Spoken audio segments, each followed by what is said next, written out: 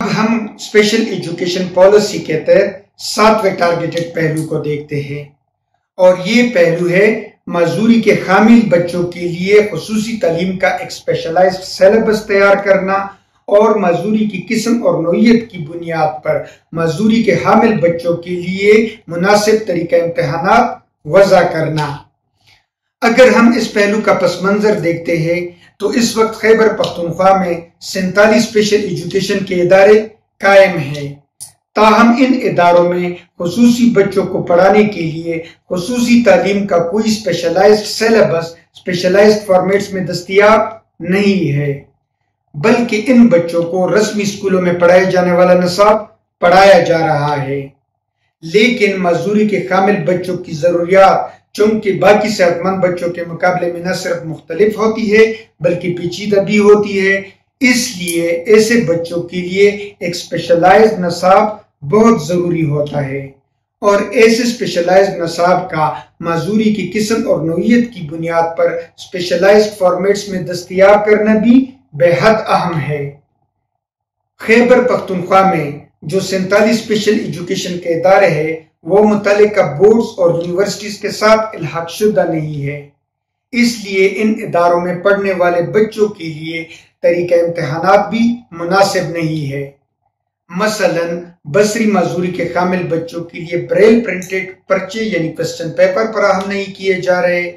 اسی طرح جسمانی معذوری کے حامل بچوں کے لیے امتحانی حال میں بہتر طور پر حرکت کرنے کے لیے اور پیپر اٹمپٹ کرنے کے لیے یعنی پرچہ حل کرنے کے لیے مدد فراہم کرنے والے آلات بھی دستیاب نہیں ہیں۔ جبکہ قوت سماعت اور گویائی سے محروم بچوں کے لیے امتحانی عملہ اشاروں کی زبان پر مناسب طور پر تربیت یافتہ نہیں ہے۔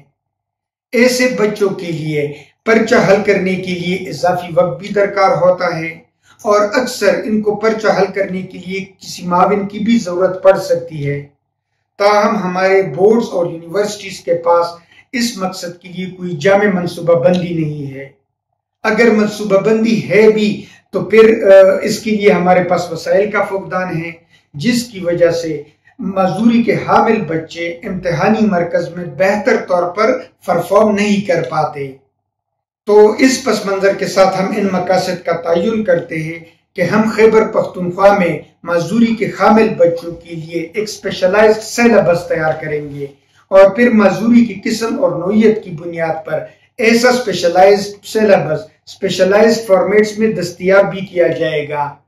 اس کے علاوہ جو سنتالی اسپیشل ایجوکیشن کے ادارے ہیں، ان کا متعلقہ بورڈز اور یونیورسٹیز کے ساتھ الحاق بھی کیا جائے گا اور بورڈ اور یونیورسٹیز اور باقی سٹیک ہولڈر کے ساتھ مل کر مزدوری کے حامل بچوں کے لیے مناسب طریقہ امتحانات بھی وضع کیا جائے گا۔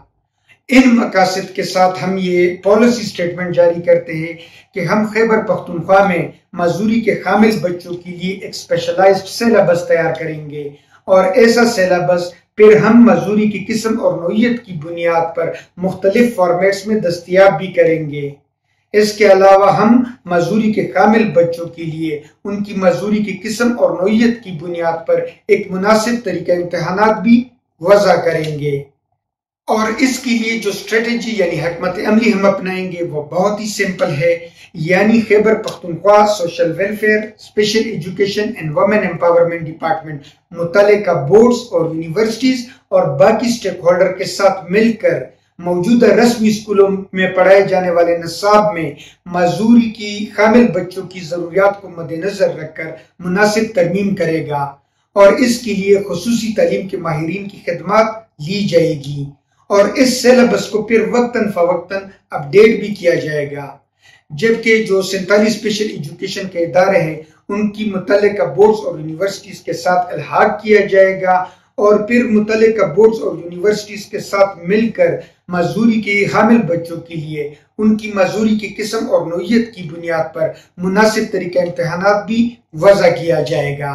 تو امید ہے ڈیئر ویورز آپ اسپیشل ایجوکیشن پالیسی کے تحت ساتویں ٹارگیٹڈ پہلو یعنی مزدوری کے حامل بچوں کے لیے اسپیشلائزڈ سیلیبس کی تیاری اور مزدوری کی قسم اور نوعیت کی بنیاد پر مناسب طریقہ امتحانات وضع کرنے کے بارے میں جان گئے ہوں گے۔ ٹیون کیونکہ آنے والی ویڈیوز میں میں آپ کو اسپیشل ایجوکیشن پالیسی کے تحت مزید ٹارگیٹڈ پہلو کے بارے میں بتاؤں گا۔ Thank you very much